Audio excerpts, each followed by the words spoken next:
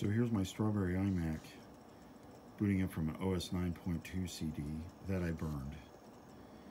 And the way I fixed it was with this stuff. I'll get it into the picture real quick.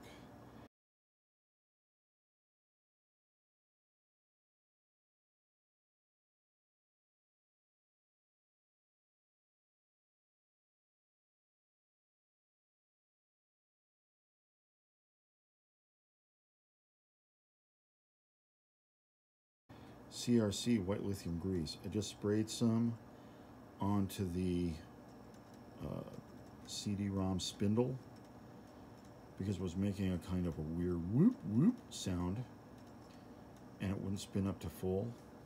So now it's booting into OS 9.2. So this is a win. I do have a newer CD-ROM coming that works, but I just wanted to let you know, guys know if you were having a problem this is the way to solve it, maybe. No guarantees. And here we are booted into the desktop. As you can see, if I can get in a little closer, and sorry for the flicker, uh, as you can see it says 8.27 a.m. I do have a Pram battery in there, a brand new one, but I cannot get into the date and time control panel onto a limited install like this. Let me go to the time real quick.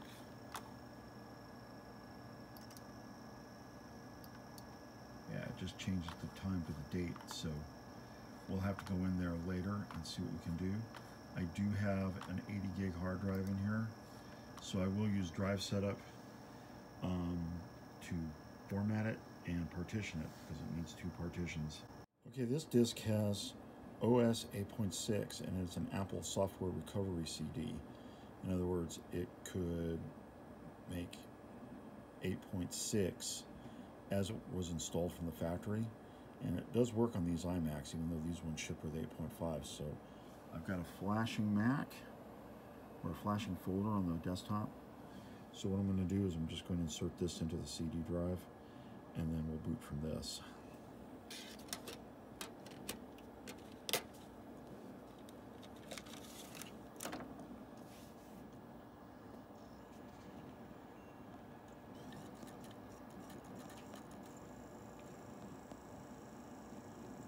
No skullduggery or shenanigans going on and I'm not pressing the C key because I don't need to. This is the only system folder that's valid.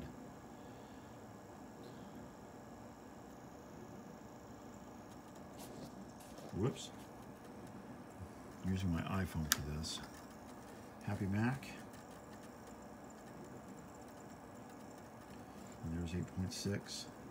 Now, I don't believe 8.6 is file sharing turned on by default. So if it does, then it's going to take a minute for this because I don't have Ethernet hooked up.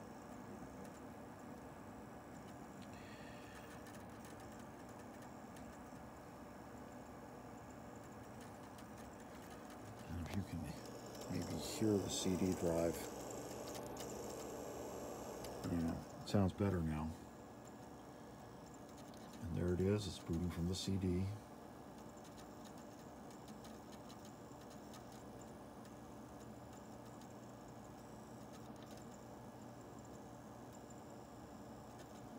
Might be able to speed this up. I'm going to put them all into iMovie.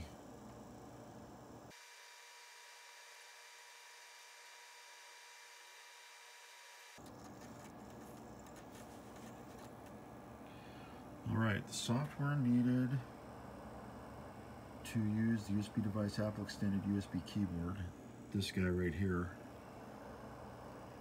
cannot be found. Please refer to the device documentation to install the necessary software. Does work anyway, so the desktop will come up. And it doesn't open the iMac Restore by default, but there's that. And I could start it up. Because if you've never seen this, it's pretty cool. And there it is. Now the only drive that I have that can be uh, seen is the iMac HD image or this the uh, iMac Restore disk. That's the only disk that's there. So can't switch them because this is the boot disk. So what we'll do is we'll quit And I'm going to close this window and then we will go ahead and shut down. CD drive sorted for right now. I am going to continue to get that new drive that I ordered just as a backup, but now I believe that this drive was just caked with bad lubricant and the lithium grease took care of it. So it's the next day and there's more optical drive shenanigans. Uh, I have this Indigo iMac. And let me come around and show you that. I have this Indigo iMac 450 and it has a DVD drive, but it is dead as a doornail. Uh, it'll kind of inject a disk, but it will not spin. So that one is done. So I have what I think is going to be more versatile. This is a slot loading CDRW drive from this, from my wasted graphite iMac. What I'm also going to do is I'm going to put uh, 256 or 512K into this one. And then we'll put some more RAM into the strawberry. And I already have enough RAM in the snow. I think what I'm probably going to end up doing is the snow will get OS 10 because it's running 600 megahertz. The Indigo will get 9.2 because it's 450 megahertz. And the Strawberry will get 8.6. So hopefully I can get these all working. These for sure work, although the Snow has only a CD-ROM drive. It doesn't have any kind of writer. But I do have a portable FireWire writer, and that is a FireWire iMac. So that is verifying the drive that I'm putting in there as a 20, 20 gig hard drive from the Graphite. What I will probably do in that one also is I will put a blank. I've got some 40s and 80s, like eight of them, just lying around, and uh, an 80 or 40 or an 80 gig would probably be perfect in there. But for right now, this will suffice, so we'll come back when it's buttoned all up. Okay, it isn't buttoned back up yet, but the OS 9.2.2 DVD, or CD, I'm sorry, did mount. So this optical drive is working, and it's working pretty good. Now let me get a button back up. I gotta put a pram battery in there too, so hold on a moment. So I wanted you guys to see what the Indigo iMac looked like before I put the shield on and buttoned it back up. Um, here is the pram battery that I put in just now. This right here, for those of you that don't know, that's the power management unit reset switch. You do that before you put in the pram battery. This Mac came with 128 megs of RAM. Uh, here is the carrier for the hard drive and the CDRW. The hard drive is a brand new 80 gig. And uh, basically, that's it. Side panels. This has an actual reset and power uh, programmer switch. Firewire 400. Uh, modem. Two USB 1.1 ports. Uh, 10 base T Ethernet. And in, uh, input and output you know, microphone in, headphone out. So that's it. So let's get the shield on and everything should be good. Okay, here's what the iMac looks like with the RF shield on. And it's a rather nice RF shield. You can tell how clean an iMac is by looking at the RF shield. So I didn't blow this one out very much, if at all. Also, I forgot to show you that these iMacs have a VGA output. It only does video mirroring, but this is good if I want to do, say, capturing from my Star StarTech device to my Elgato. So we'll probably end up doing that. The only one I couldn't do a direct capture from is the Strawberry because there's no way to do it. There's no output ports on it. Uh, but we might be able to do it through uh, EasyCap. I don't know. Uh, we'll find out. Anyway, we'll put the bottom on and then we'll fire it up. All right, so here's something else that you need to know just when you're taking these apart. The back cover has only four screws. One here, one here, one here, and one here. Those all you have to take off. I took off these two here. Those are inner uh, bezel screws. You don't need to remove them. So we're going to button this back up. Oh, also from the graphite iMac, I savaged the rubber feet. This one didn't have any, and uh, they are made of unobtainium. So here it is. It's all buttoned back up and ready to go. Uh, I'm going to smoke test it.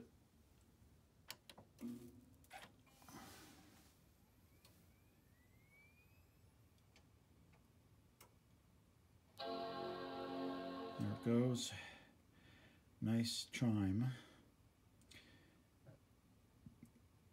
This is a clean hard disk, like I said. Just checking to see if the light is on. So what we're going to do now is we're going to drop that in there. It's not the most powerful motor. I think it's about on its last legs. But once it gets going, it should be fine. Okay, there it is loading up from a Panther disc. And we'll see how fast it does it.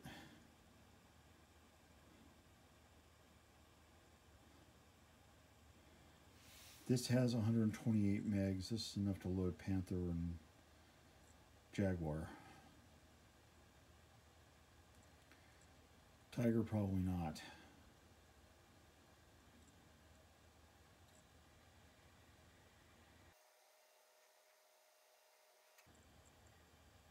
So I'll give it a few more minutes to get to a desktop and when it does I will come back.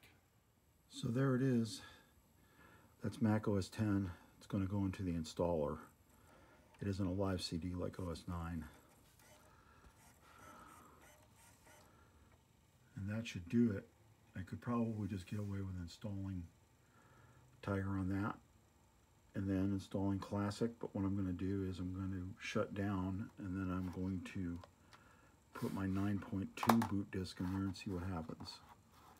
So let's quit the installer. And I'm going to quit and what will happen is it'll just shut down.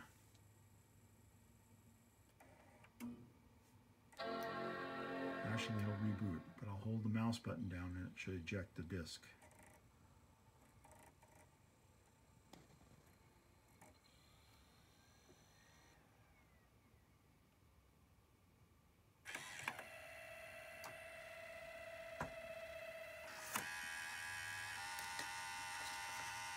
That disc really doesn't like anybody, I'll tell you.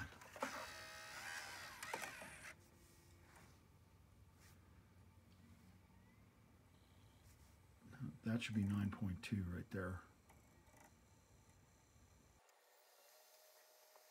As I said, unlike the Strawberry iMac, I'm covered with this one. This has FireWire and I have a FireWire CDRW drive that I can use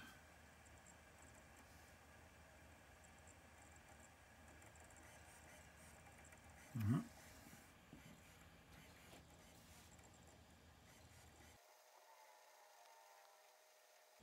So we'll have to set this one up too. Like I said, this is going to get 9.2 and yet another 9.2 disc. And then I will get the stuff off of the Snow iMac and turn it into a 10.3 disk when I have 256 megs of RAM in it, or 512 megs of RAM in it, I'm sorry. My file sharing is start, starting up and it won't start up. There it goes.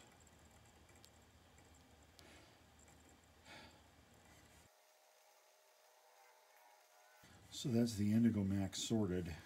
We'll get this one going uh, with 9.2 and I'll show that process at some point.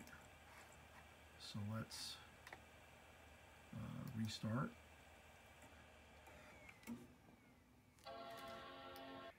I'll hold down the mouse button while we're waiting for it to spin up and it should eject.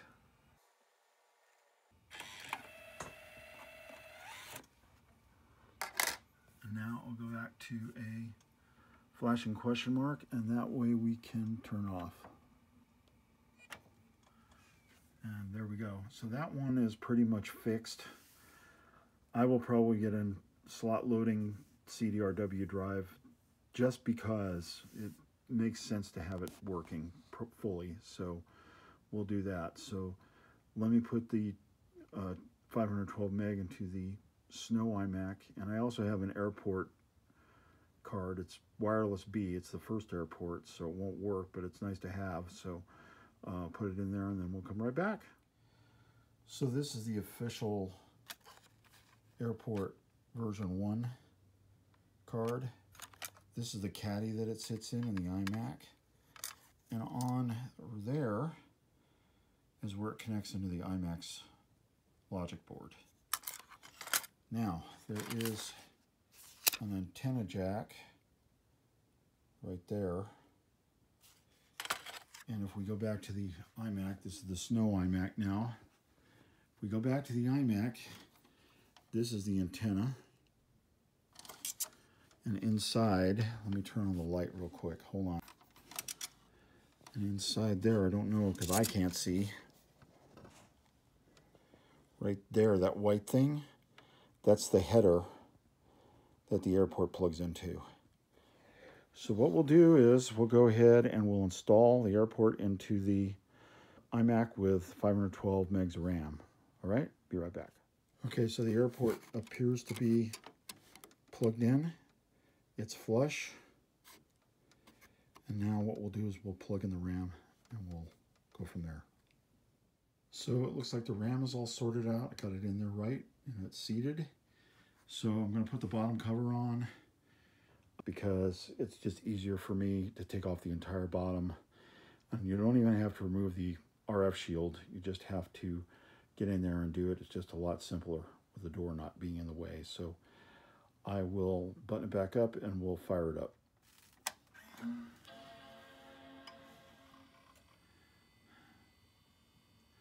And I believe this just boots in a 9.2 but we will see.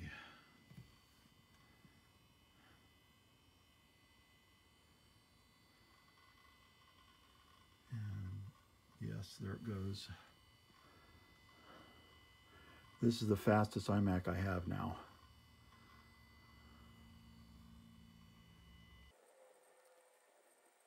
So let's let it get up to a desktop here. That works for me.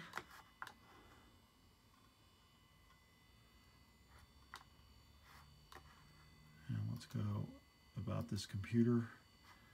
And it is, sorry about that. It is Mac OS 9.2.2, built-in memory 512, virtual memory 513, and that's Mac OS, right? So the iMac works and the airport is in there just barely see it maybe right there. Uh, it's wireless B with WPA and there's no way to get on there unless I bridge in an airport router. So I might have to get a little spaceship router and do that. I don't know yet. But as far as anything else is concerned, the iMacs are sorted right now. Uh, so um, what we're going to end up doing is installing uh, OSs onto them and cleaning them up. And then this machine is probably going to be the main uh, iMac in my life. I have over there, if you can see it, I have my G4 with mirrored drive doors. That's probably going to go up in my room. There's my graphite iMac, all torn apart. It is a parts machine. It has a decent motherboard and uh, well, it has a decent motherboard and it has a decent screen actually, so that could work. But all these other iMacs have better screens, better hard drives, etc., etc. So probably going to change this hard drive out. This is the original hard drive that was in this one. Uh, and I need to get a decent slot loading CD-ROM. So I've got to spend some more money. So anyway, hopefully this was helpful to you guys. And uh, like, share, subscribe, do all that other good stuff. Comment. Uh, don't like if you don't like it. And uh, I'll see you soon. Thanks.